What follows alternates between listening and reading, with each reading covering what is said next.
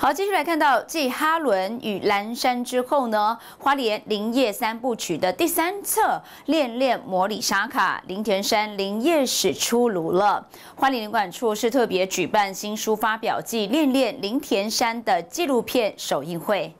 林田山林场曾是花莲，甚至于是东台湾近代森林商业规模开采的起始地。林管处为了保存这段珍贵历史及相关史迹，委托了产学界历经三年多研究调查，拍摄纪录片，终于出版了林田山林业史新书和纪录片。那其实林田山。它的林业史是从一九一八年开始起算，所以大家算一算，到现在已经超过百年了。那其实这百年的历史，在林田山里面，这些林业史其实是花莲很重要的文史的一部分。它也造就了大概现在花莲的一个人口结构跟经济状况跟的的那个居居民的一个状况。那它可以在近代百年的历史之内呢，其实可以看看得出来说，其实花莲在诶林业的这部分的一个发财的一个过程。好，所以。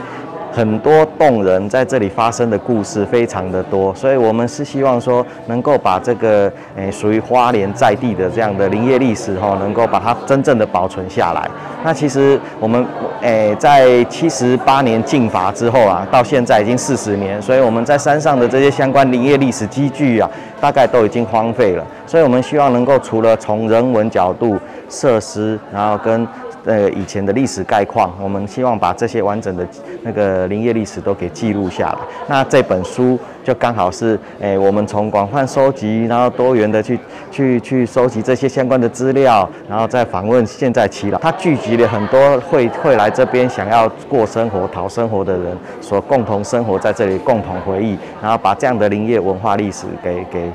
介绍出来。烈烈莫里萨卡是花莲林业三部曲之第三册。林田山旧名莫尼萨卡不只是一处文化景点，花莲人的集体记忆之一，也是东台湾林业史最后一块拼图，在台湾林业史占有一席之地。而它的荣枯也紧扣着台湾近代史。